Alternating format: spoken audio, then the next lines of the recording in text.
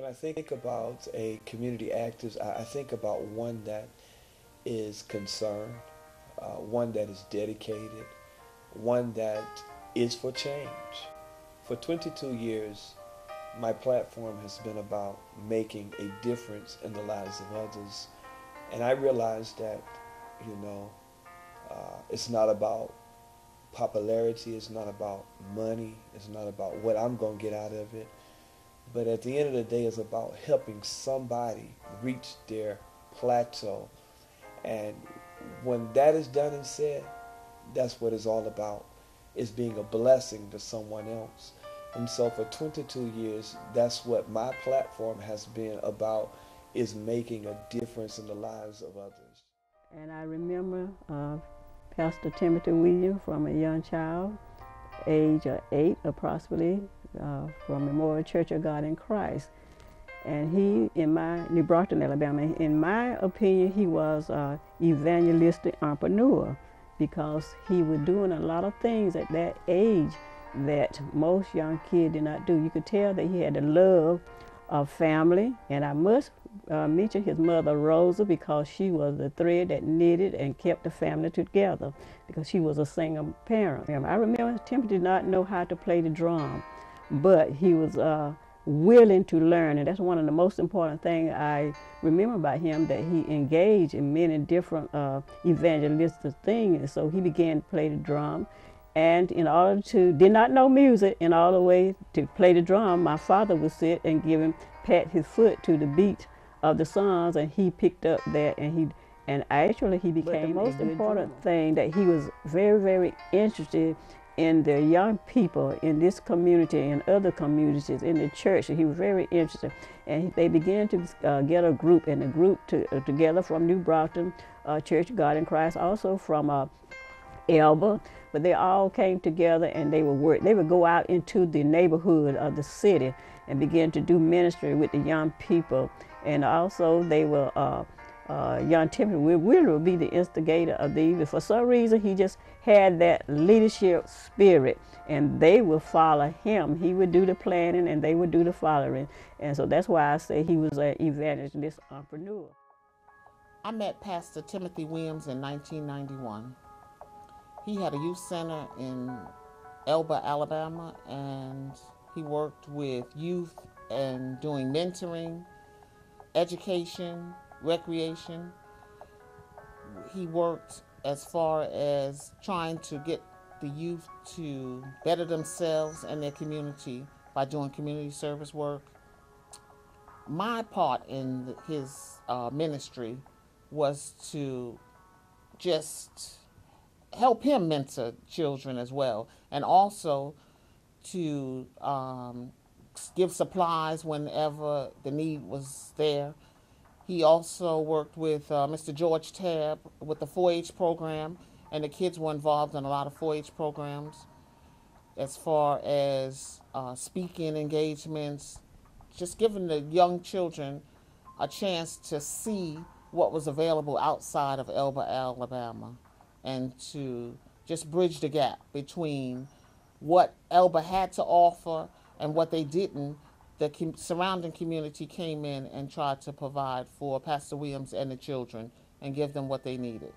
He has done a wonderful job. He has been instrumental in helping to just raise up the awareness for children to let them know that there are opportunities outside of Elba, Alabama, and for that matter, outside of Alabama, period, that the uh, world was theirs and they could seize it.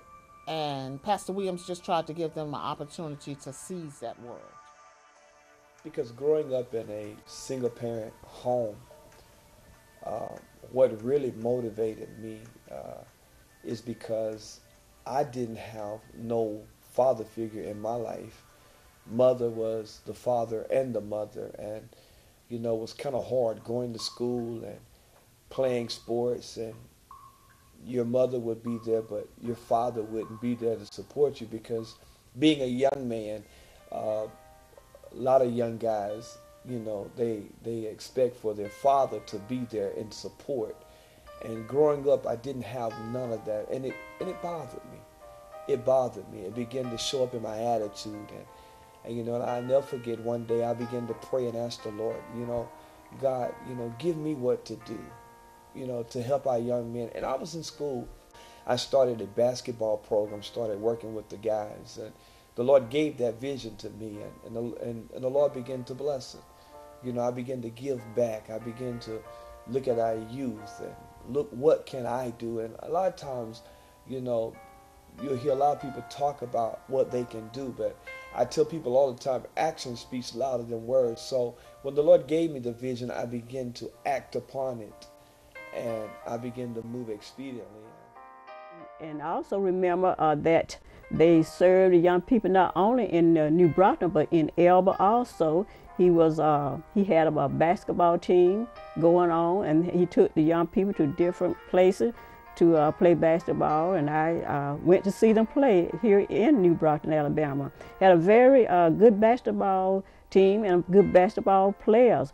They also uh, engage in uh, uh, feeding the, the young kids, giving them lunch, and I also vaguely remember they had had a big day for the young people in Elba. And at that time, I'm thinking Channel 4 came out and you know, and and uh, and televised it as therefore, and so they and he had a place in Elba called Mulberry High School that he brought the young children there, tutored them, and did games and things with them, and ministered to them.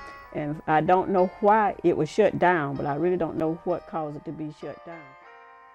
I remember years ago, my son Tim, he brought young kids to my house and they go back there in the back room and, have a talk show. And he just loved to work with kids. He been doing that all of his life, working with young kids, try to get them off the street so they won't get in no trouble. Had a youth center in Elba, and therefore, and they were there for uh, several years. You know, I never seen him pull back on any challenges that, that confronted him because he, he has the mind to do and he does it regardless of what comes forth, come before him, you know, whatever obstacles I would say that come before him. He's strong, he's very strong, and he's very dedicated. The Youth Training Center came about, we started playing basketball up at the uh, Mulberry Park, and, and we didn't have nowhere else to go and practice, and we would practice at the Old Mulberry park and kids will come from everywhere just to shoot basketball and and then we formed not just one team but two teams and it gave the kids something positive to do and, and a lot of kids were able to go out of town and do different things and, and from there the youth center was erected and we started doing things in the old Mulberry building and having classes like rap sessions and, and we started educating our kids and teaching the kids you know what I'm saying, and had things for them to do. It gave them a safe haven away from home, something positive that they can get into, and, and it helped them to, you know, push and reach for their dreams and let them know that, hey, you can be whatever you want to be. You don't have to settle for what life throws at you. Um, back in about, I'll say about 22 years ago, young man came to my door Timothy Williams, and um, he said, I, I have a dream. And I said, and? And he said, I want this community, Rolanda, to have a youth center. And I said, what does that have to do with me? He said, I need you. And I said, why? He said, because you can understand my dream. And I have faith that you'll help me and you'll help me in the right way. And I said, okay, Tim uh, we'll do this thing. And at that time, we had no money. At the time, you know, we were getting ready to start. I think we had just applied for a grant, or Timothy had just applied for a grant. And he said, so, well, you know, I said, well, I have this degree, so let's use this degree thing to give us more money. And we started the Elba Youth and Training Center. And so the Elba Training Center was a great outlet for the kids. We even had rap sessions where we talked about peer pressure. We talked about different type of diseases and we talk about different things just to educate our kids because they need to know what's out there what's going on in the real world you know and and and we even we even went on tours and took them to the prisons. And I know now it's not popular now to take kids to the prison, but we took kids. They had trips to the prison. They were able to go different places and to see that hey, this is real, you know. And, and and my thing was is to let the young people know that just because you grew up in the hood does not mean it does not mean that you have to be like your environment. And that was one of the things that we taught the kids is that you don't have to be like everybody else but you can be who God has called you to be. I remember helping my brother, Timothy Williams, at the Elba Youth Training Center here in Elba, Alabama. We had a game room, we had a candy store, we had the pool tables up in there, we did cooking. My brother has a love for kids. He wanted to keep them out of trouble. He traveled with them different areas, um, taking them to places, to the water world, to the prison, to show how the other inmates was living, and didn't want them to turn to being bad or getting into trouble. But he has the passion for kids. He always fit his hands to do things and help children and talk to people to tell them they can do better. They can change their lives. They can or want stuff in life. When I think about my brother Timothy Williams and community service, first thing comes to mind is that he always wanted to make a difference in the lives of children and the lives of people um, in general. Um, he always saw that there was there was a need, and he always has been doing um, something, uh, whether it be in the um, community of Elba or whether it was an Opp.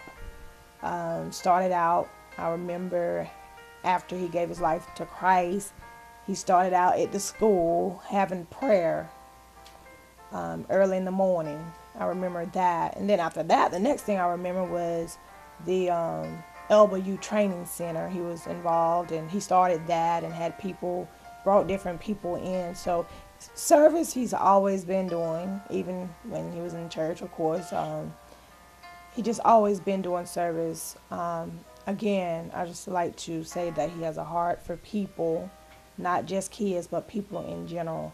And he saw a need um, from having outside service in the community of, of Elba, um, from serving the people uh, Thanksgiving, feeding the uh, families, less fortunate families that didn't have. Uh, from doing back to school bash and Opp where it started, and he has done it in Elba as well. He's always doing something, always trying to encourage people and lend a helping hand. And you know, my thing is that a lot of people had great dreams and they had great uh, ambition. They started out, you know, doing things and said, we're going to do this and we're going to do that and have meetings, but they never followed through with it. And my thing was, is that whatever God gives me, I've got to follow through with it. Because yes, sometimes you become burnt out. Yes, sometimes you feel like quitting. You you feel like giving up because you don't have the support that was told to you or people, you know, they stopped, they became, you know, jealous of you, they stop helping you. But I tell people all the time that does not give you the right to just give up and quit, you know, just because you didn't get the support that you thought you should have gotten, you know, so what? God has given the task to you to carry it out. And so I've always told myself that whatever God gives me, I'm going to give it my best. I'm going to do everything that God intended for me to do because I can't quit, you know. Um, at that time, I think uh, Linwood Herring is his name, and Commissioner Ernest Brooks backed us with the Dream Team grant. And we just began to have different programs for the young people. Uh, we had tutoring. Not only did we tutor, we taught discipline. We talked to the young men about self esteem, self awareness, being aware of who they were and how they impact what goes on in the, the community. So that was 22 years ago. Timothy had faith in me all those 22 years ago. And we've kind of been partners ever since. Any endeavor he wants to undertake, we kind of partner up. He's a good, outstanding role model of what a man should be in this community. He, he's not only is he a pastor, he's a good husband, a good father, a good leader in this community. And I am proud to be a part of this documentary on his behalf, in his behalf, in his favor. And it's so refreshing to be able to say some positive things about an individual. And this young man has, has done great things in this community, most of the time at his own dime. In other words, with his own money. He doesn't want any recognition for it.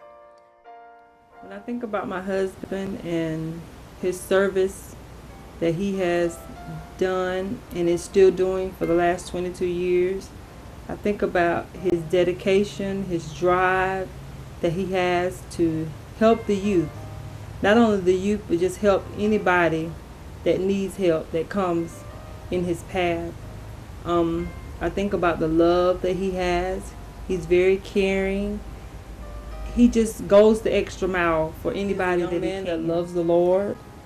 He loves his family and he displays that through the work that he does or the service that he does in the community. He shows love. He show love in everything that he do. He's faithful. Um, thank God for him and I love him and thank you for your work, your service that you do for all communities, just not Elba, but all communities. So yes, there's sometimes you will become frustrated, you'll become aggravated because things didn't go the way that you thought they ought to went. And and there were times when I felt like quitting. I, I, I said sometimes that hey, I ain't doing this no more. But God always come through and he always encourages my, my heart and and tell me he would tell me, tell me it's not about you, but it's about you know, me being glorified because I chose you to carry out this task. And, you know, sometimes we tend to forget that because we think it's about us. And I'll never forget, there were hard times, you know. We came across a lot of hard times, a lot of bumps in the road, and, you know, carrying the kids here and there, times out of my pocket, you know. I would go to work in the summertime, and this is when I, I formed the youth center you know, I would have to put in a whole lot, you know, and to give and you know, I was just constantly giving. And you know, when you become a community activist, it's a lot about giving. You have to give of your time. You have to give of your resources, uh, and you have to give. I mean, you, you can't be a stingy person doing, you know, community work and, and making a difference. And so um, it was about giving. And so to make a difference, you have to be willing to give. And and so, and, and I made that my motto is that whatever I do, I'm going to give my best in everything that I do and say because I want to be pleasing to the Master. I remember when Pastor Williams had orchestrated the youth center. It was it was back then. It was a lot of things to do for the youth and for the community. He he used to have us coming in. We used to we used to pray together. We used to start our days off praying together. And then after we would pray, we would get involved in the community. You know, teach the kids things, and um, we we used to bring in education, tons of fun, and that's when everybody used to get along. See, the youth center connected our community. We came together. We had food. We we used to go on trips. We used to have activities going on to the point to where nobody had room enough for negativity. And see, it brought a lot of positive impact to our community. And that's the things that we need to get back to. And you know, being a community active is it's a calling. You know, you, you got to be called to do it because some folks will get up under your skin. They'll say things to you.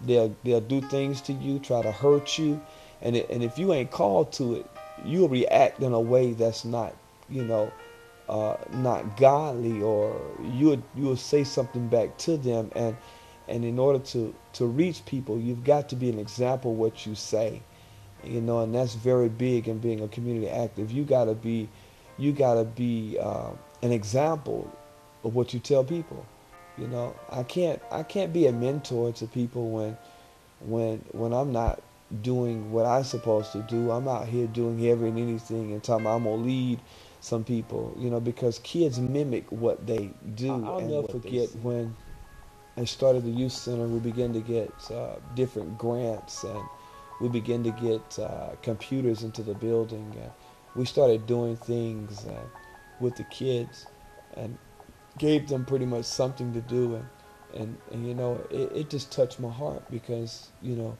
just to be a blessing and to do something and to give that time and to give back to kids. If we all could just give back and, and, and not just look on the things of ourselves, but look on the things of others, God will begin to pour out into our. See, Pastor Williams been a great role model in our community, and he's a veteran to our community. And I just want to thank him for all the things that he's done because that kept a lot of kids off the streets. That kept a lot of kids from getting in trouble. When the youth center was going on, people looked forward to going to the youth center because it gave them hope. It gave them something to look forward to. It created ideals for their future. And that's what we need now. And so now we're looking to get things back going like that. And Pastor Williams, He's he's always been a great friend, a great role model, and an awesome pastor. And and I just want to thank him from the bottom of my heart. Thank you. We took trips like to Water Waterworld, down to the beach, and, and I, will never forget Miss Burks would always allow us to use her van, and, and I would take her van and I would pick up the kids and and take the kids down to Panama City Beach, and we'd go down there early in the morning and spend all day and barbecue, and the kids just had fun. It was just a blessing, you know. It was just a venture.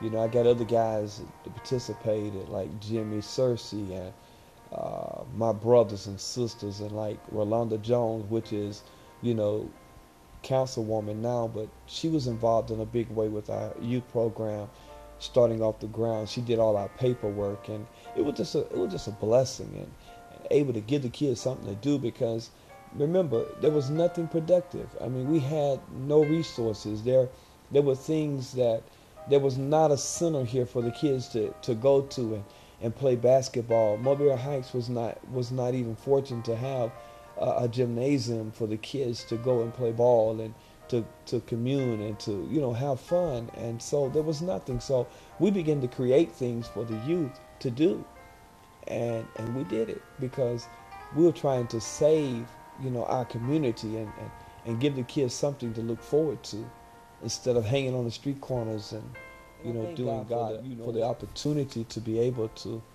you know be a blessing and to make a difference and to have impact a lot of kids. You know, I, I can't even tell you how many kids I've mentored over the 22 years. It's a lot. I mean, a lot of kids I've I've mentored. Now some of them are grown, and and I'm still doing it. You know, in the program and and able to see my kids for 15 years. My kids were able to, you know, be a part of my life and community community work. You know. Um, I allowed my whole family to participate, my, my family. I thank God for my wife because, you know, when I got married, she could have said, well, I'm not going to do this and I'm not going to do that. But my wife joined forces and we began to give and to do. And, and I'll never forget coaching basketball. My wife would come and, and I remember my daughter, my oldest daughter, Melissa, she was real young. And, and they would come to my basketball game and she would get out there and play around. And, and she lived a life around basketball for 15 whole years you know, daddy coached basketball. He was active in the community doing different things. And, and everywhere I went, my whole family went and my family participated. I taught my kids how to give and how to give back because it's our reasonable service that, you know, God has called to us to give. When God bless us, he intends for us to bless others. And so it's about giving back. You know, I was raised as a young man to to give back no matter what it's time for you to you know learn to give and my mother taught us how to give and she raised us up in the fear of god and i just like to really commend him uh, the good work that he had done and i know that he's yet doing good work because when he left uh, from around here he went to Opp and began uh, began to do great ministry work there And also, I would like to say that in, in a lot of his evangelistic ministry, he did not really have what you would call uh, support. A lot of these things he was doing just because of his uh, wanting to do them and had that uh, urge, I would say, to do it. Uh, so therefore, he went out and he began to uh, do evangelizing just on his own without help from others. I remember back in 2004, um, I left Elba and I went to Opp. And the reason I went to Opp was uh, the Lord had called me to start a ministry there in Opp. And so when I went to Opp, I began to ask the Lord, I said, now God, what can I do? You know what I'm saying? To to uh, help the kids in the community there in Opp, Alabama. And, and the Lord reminded me, He said, now Tim, do the same thing that you did back in Elba when you used to work, you know, with the kids in Elba. And so um, I started a um, after school program in the city of Opp. And, and, you know, when we first got there and and one thing about the after school program, we began to work with the elementary schools and the uh, middle schools in Opp.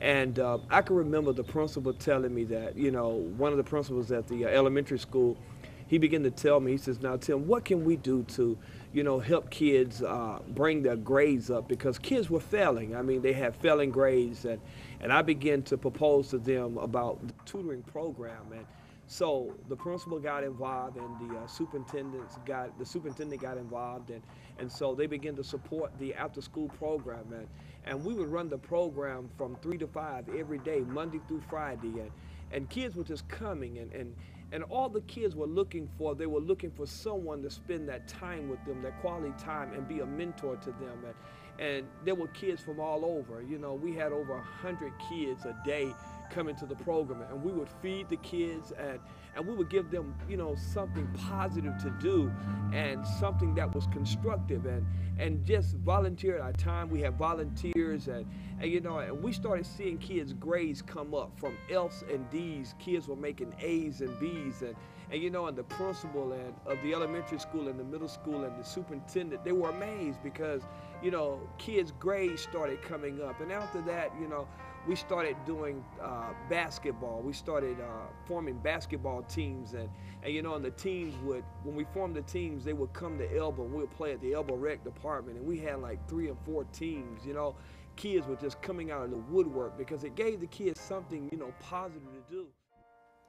The thing that I remember about Pastor Timothy Williams is when he first came to Opp, he had he was driving the bus. He had um, started the after school program. Kids came, you know, they enjoyed it. They had bad grades, then they came up with the good grades. Um, then uh, Easter egg hunt, you know, it was fun. The kids enjoyed it. The parents enjoyed it, you know. One of the challenges that I faced was in our uh, going forth doing community services was that uh, we had a daughter that was born with a rare brain disorder. And through that whole process, you know, uh, it was rough, but we didn't give up. We kept doing community service. We kept pushing. We kept doing ministry. And you know, and it's kind of funny because Destiny lived to be nine and a half, you know, months old. And my assignment in art was nine and a half, nine and a half years. And when I look back at time, when I look back at different things, and you know, how all of it's lining up. And, you know, I just thank God because it was trying times, you know. Uh, it was rough, you know, but, you know, when I, when I look at nine and a half months, you know, with my daughter, you know, back and forth, we were going through a lot of things. And, you know, and now when I look back and I look at how, you know, the ministry ran it up, and I was there only for nine and a half years and I compare nine and a half years with nine and a half months, just the time, you know what I'm saying, the numbers, and I'm saying, oh my God, you know, and you know, God kept us through all of that, you know, and I'm I was just like, wow, I mean, they just enjoyed it. People came. Um, back to school bath, oh, they loved the back to school bath. I mean, he had brought a lot of folks in. He brought in the football players. You know, he talked with the kids. You know, I mean, he he loved kids, and the kids enjoyed him. Watching, you know, little Destiny, you know, she was fighting for her life, and it really taught me a valuable lesson. Is that anything worth having is worth fighting for, you know, and that was one of the, you know, uh, crises that hit us, but but we didn't give up. You know, you had those that was watching and saying, "Oh, he's gonna quit now because, you know, this is going on in his life and he's going through this." But we kept Opp faith in God and we kept pushing. And you know, we kept first project in the city of our we did a Easter egg hunt and we took it to the softball field in a community up in Gavin Street and and the kids from the church they began to do mime dance and, and you know out on the field and, and people started coming from everywhere. I mean the people enjoyed it. They were they were suspicious. Let's let's go up there to the park up there and let's see what's going on in the community, what Evangelist Temple is doing in the community. And you know, and people came from all over. They lined the fence there. I mean, people were having a, a good time. Everything was positive, you know, and uh, and you can see all the kids that came out, and you know, and we were able, we were able to feed everybody, and and the kids also began to hunt eggs, and, and it was just something positive. You know, you hear about a lot of negative things, but we wanted to bring some positive things into the community. And we are the Win Girls. And we would like to say thanks for your service, Dad. From there, we began to do different things. We started doing the uh, um, back to school bash. We started bringing in different people, you know. Um, James Logan, which was a uh, former NFL football player, Ronald McKinnon, he came and and you know, and they came and they did autographs and they began to talk with the kids to motivate them and encourage them to, you know, reach for their dream. And it was just something to, you know, let the kids know you can dream big. You can be whatever you want to be. And so from there, we started having different things, I mean, in the community. Uh, like the uh, Dr. Martin Luther King March, we, we helped organize that. And, and we began to march and the young kids came from you know from all over the community from other cities.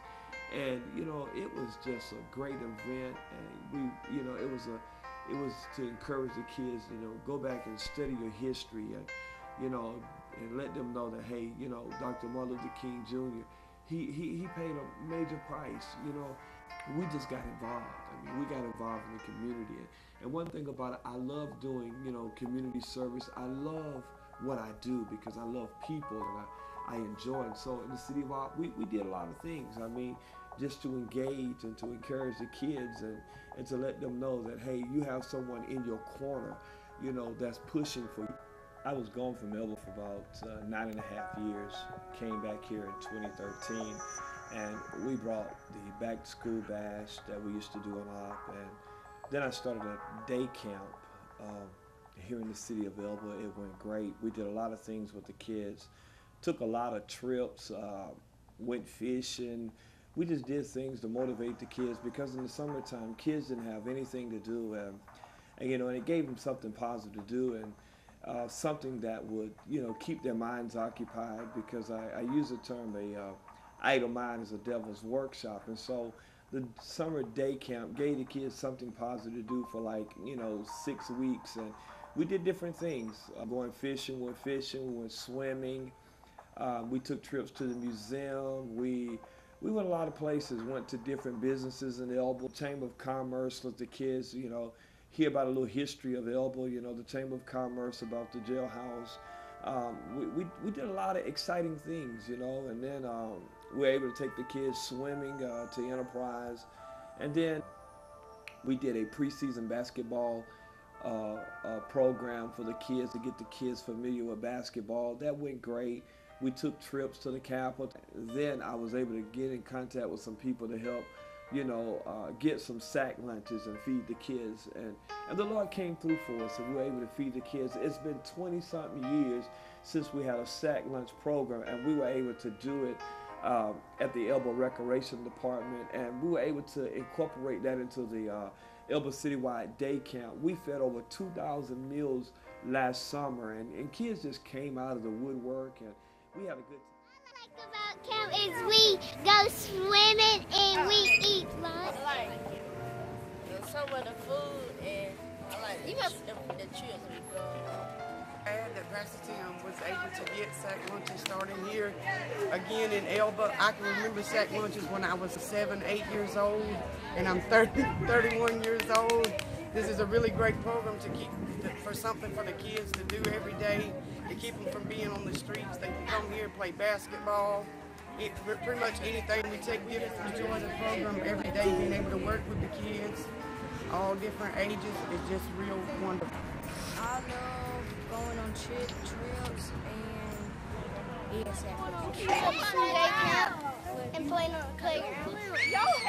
So you're having fun, right?